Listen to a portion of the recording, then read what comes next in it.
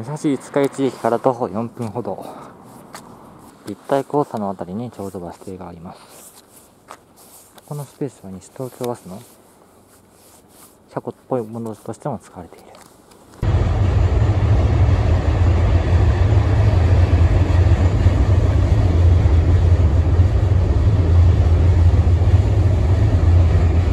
ということで小机坂下です。菅瀬橋系の福生駅、福生駅行き、そしてツルツル温泉。これが、奥までに先ほど、おそらく見せられたはずの、タンクトレーラーで運行される便になります。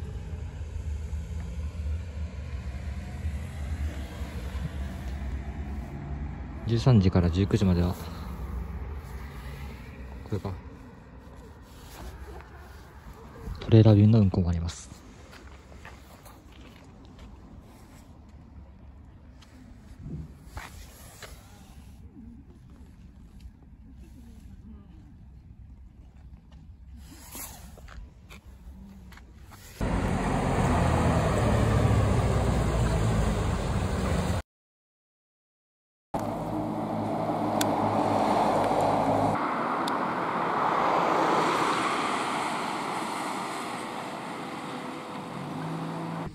武蔵五日市行きのご利用のお客様は、道の反対側でバスをお待ちください。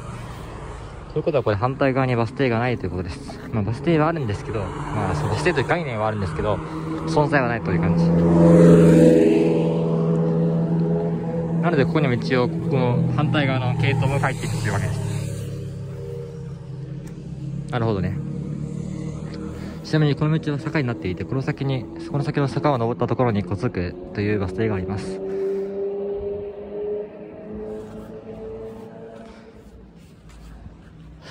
取れなかった。これ小机坂下の紹介でした。